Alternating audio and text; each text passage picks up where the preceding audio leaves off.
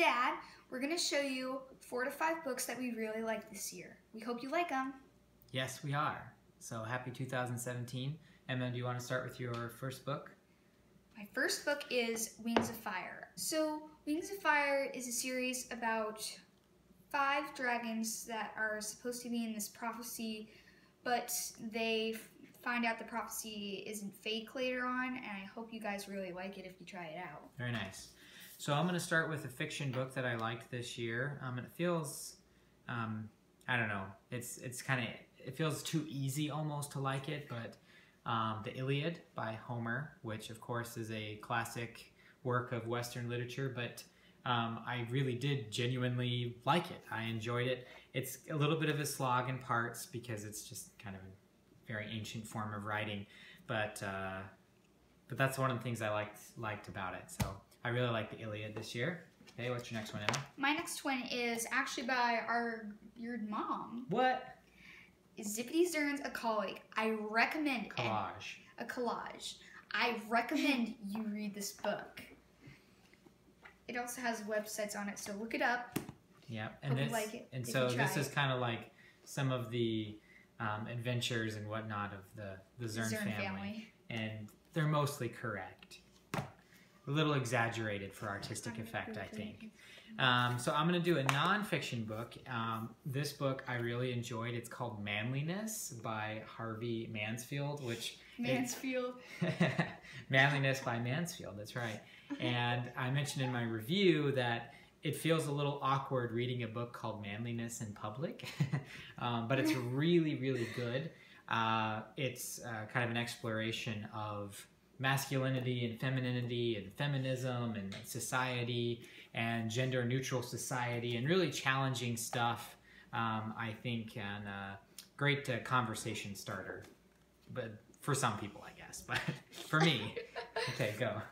Okay, my fourth book, well, third book, is Upside Down Magic. I think it's really good for middle schoolers since it explains that being normal isn't always the best solution. Mm. What does that mean? Um, You'd have to read the book to figure it out. Um, the next one is uh, a fiction book, um, The Great Divorce by C.S. Lewis. Really short book. It's not very long at all, but man, there is some really, really profound stuff in this book. Why is um, it called it's called The Great Divorce. And shh, sis, you're the camera person. The the reason it's called the Great Divorce is because it's about people after they have died, and it's kind of this little story about um, people in the spirit world and and letting go of the here and now in order to go to heaven. How a lot of people can't go to heaven because they can't let go of what they had here. Absolutely fantastic. Of the past. Yeah, the past or material things or just excellent book. Loved it. Okay. So my fourth book, this is going to be my end book, The Son of Neptune. It is a really good Percy Jackson book, made by yours, made by one of the best authors ever, I think, mm. Rick Riordan. He is a really good author. He has tons of other books too, so I might want to go check those out too. High, pra- high praise indeed.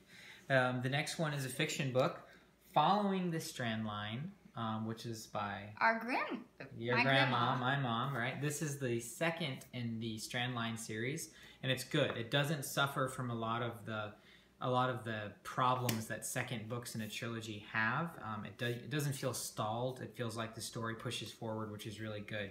And in this one, it pushes forward in a very substantial and consequential way, which I liked a lot. It's a good read. It'll keep you reading, page turner. Um, so I encourage you to pick that one up. And then um, that was your last one, right? Mm-hmm. So the last one that I'll mention that I really liked this year is a book called The Caped Crusade. Um, Batman and the Rise of Nerd Culture, which a friend of mine got for me, and I I did not expect to enjoy this book as much as I did. I have I've loved Batman for years and years and years. He's always loved Batman. I always loved Batman. I'd honestly say since diapers. Maybe since diapers, and um, but one of the things I liked about it was that uh, I understand. It helped me understand a lot more the nerd culture that I didn't really understand up to this point until reading this book and understanding why people get so, I mean, angry about if you criticize something that they love, comic book wise, that they love. This book helped me a lot kind of understand where people are, are coming from. Um, by the way, Civil War is still a terrible movie. Uh, so that's our 2017. We Uh, hope you check them out in 2018. yeah, we're going to keep reading in 2018. We hope you keep reading as well. And uh, we'll see you next year. Thanks. Bye.